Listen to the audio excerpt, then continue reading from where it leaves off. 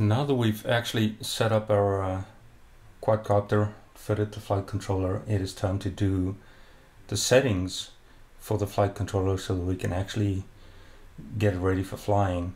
Binding again um, was covered in my first video in assembling, uh, but it's fairly easy. Make sure you are bound. If you haven't seen it, just wait that 15 seconds after you turn on the flight controller. It will automatically go into bind mode, go into your uh, RF set menu, hit RX1, make sure your T-select is enabled once the receiver is bound and you're done. And you'll see the data show up on your on your home page on your dashboard. You'll note that I have a lot of stuff set up on my dashboard here. Um, in my next video, I'll touch a little bit more on it, not in depth, but there's so much telemetry data that you really want to remove some, most of the default stuff and just build your own homepage to see all the information. To actually set up the flight controller, we are going to go into the telemetry menu. I'm going to hit the little circle button on the right side on my MZ32. Telemetry page come up. This is the standard receiver page, just telling you I have firmware QoS6 installed. That's the default firmware for for the well it came with it but it's also the latest version. I want to check I didn't see any new version out there. Language choose your language. Alarm voltage depending on the battery you're using. I'm using a 3S so I've got it set at 10.2 volts. Internal alarm temperature for the receiver 70 degrees. This is the first different thing that you'll find on the receiver side and that's max altitude. Uh, in the US it's 400 foot I've left it as the default 100 because that's quite a bit under the 100 uh, 400 foot setting so I'm okay with that. Video channel if you have a, a smart audio view transmitter um, then you can connect to it and change the channels from the radio which is really cool. I don't have one so I'm not going to touch on that. Alarm capacity I'm using a 1300 milliamp battery. I've just changed it to 1100 for the moment as that'll suffice for me so that's it for the base menu. Nothing more to adjust there. Now we're going to go all the way to the end. We're going to skip all of these other menus in the middle and go to the gyro assignment menu. This is probably the most important one to do your setup on first. And that's why it's at the end. You're, wait, what?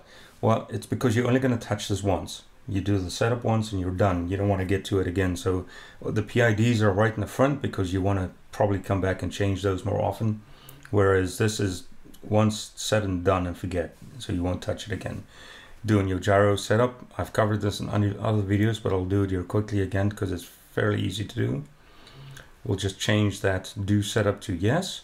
Make sure I hit the enter button.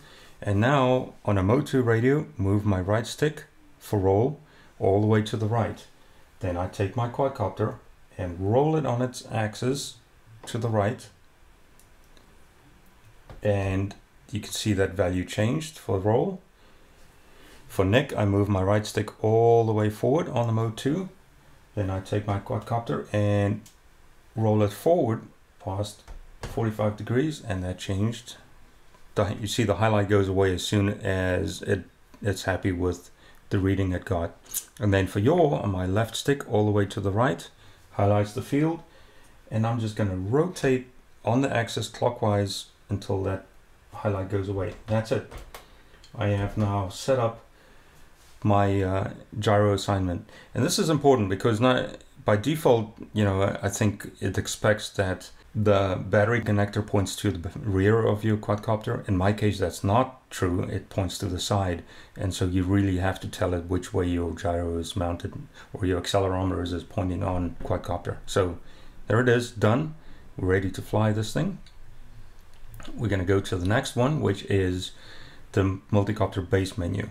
In here, you just tell it what type of frame you have. In my case, I have a an X frame. Um, you have two other options in here, a plus and an inverted X. Inverted X is just different rotation on the motors. In my case, the normal X, uh, motor 1 rotates clockwise, motor 2 anti-clockwise, etc. Where in inverted X, those motors tend the other way around. I believe that's the only difference there. ESC, that is uh, text the board that I am using, which is the S3088. If you have a different board, it probably would detect that properly. If you, for some reason or another, are not using one of the 4x ESCs provided by Graupner, you can go in here and change that. I don't know that you want to do that because it's so convenient to use um, use those boards, but mine is a 3088, so we'll leave it at that. Current factor. This is a fudge factor that you can do. Right now mine is left at 100%.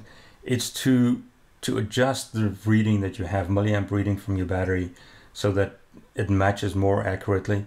So if you did your calibration, we'll talk that in a minute, and it's still not quite right, you can come here and fudge that a little bit.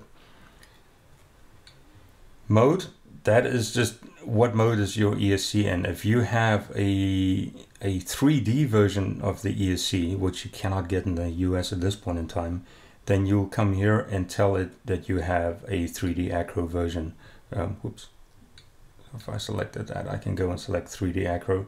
I don't have it, so uh, I probably shouldn't set that to 3D. Min power, this is uh, the value above where the motors will start moving, 5%. Keep this at the minimum if you can. I'm not sure why you want more than that. It's just a safety in there. Freestyle. I'm uh, going to play with this one just a little bit to show you the power. Um, since I'm not going to go into PIDs specifically in this video, but to show you how you can tune things. Freestyle is another way to to take out some of the the calibration on the I of the PID. And, and to play with that, what I did here is I actually set up a channel. I connected a channel 13 to, to this value. And you can assign a channel to any of these PID settings that you have. So you can fine tune them and find out where the correct value is before you come back and, and hard code them. And you go, wait, why, why would you hard code them? Well, you're not going to remember where that slider was or that knob was that gave you the perfect value that you need. So yeah, go and fly, use the slider, find the value that you need, and then come back and hard code that value. Uh, you can see here, if I move this, I can see the value actually change. So when you find the right value that you need to fly with, you can come back, see what that value is from the slider, and then hard code it back into, into your radio. So it's set in there. You can also use something else. And this is something that uh, I think would be interested in, and that's that you can actually use a curve. And the way that you would do this, you'll see I'm using channel 13 here. If I go to the controls and go down to channel 13, oops, I am at channel 13. You see, I actually assigned my channel 13 to my throttle stick. ST1 is my throttle stick. And then I went in and assigned a curve to that input. So at low throttle, I have high values in here. And then as I go to higher throttle values, I put that all the way to minimum. And that is to, to give me better control over certain areas in my flight. Accordingly. A really, really um, powerful way to control that stuff and also a way that you don't have to go and put on a slider or something forget where the slider was. So uh, my preferred way of doing it and uh, like I said at some stage in the future I'll actually do a PID video and, uh, and go into more detail. It will not be covered here. Forgot to change that. All right so that's that's the setup for for that I'm not gonna go into vibration filter it has to do with props that's not properly balanced you can set up a, uh, a vibration filter on here to help with that. Um, higher values would get you a better performance, I believe.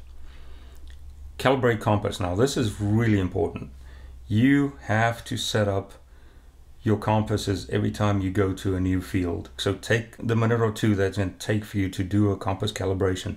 Come in here, hit the value, change it to yes, and then rotate your quad clockwise a couple of times, rotate it to the roll direction a couple of times, and then in the nick direction a couple of times until this value changed from yes back to no, and then the calibration is done. So that teaches the compass calibration.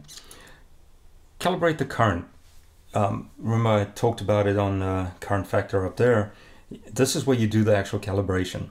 So take the props off, turn them around, invert them, so that when you throttle up, it actually pushes the quad into the ground. So you're not actually flying. I mean, you can do it while flying, but um, it's probably best to do it on the ground so you don't have to to worry about it too much and have no other influences like wind, etc., on the quad itself. Uh, it'll give it a current. So turn the props around, turn this value to yes, turn the throttle to about halfway. So the quad's just to sit there, push itself into the ground at half throttle until this value changes back to to no and the calibration is done. Calibrate position, this is probably the easiest of the calibrations to do. Just make sure your quad is sitting on a level flat surface, level being the important part.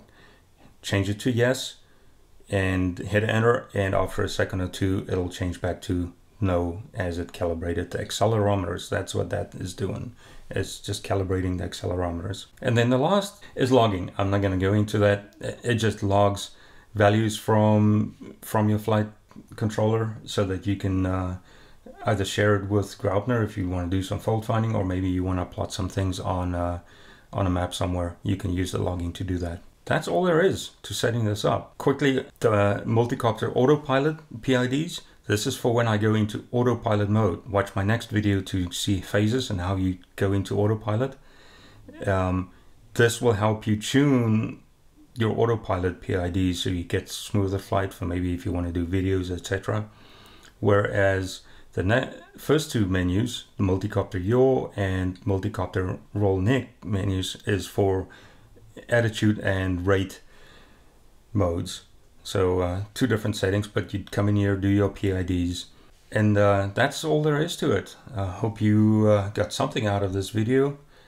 Let me know if you in the comments if you need to see something else, and uh, appreciate you watching. Thank you.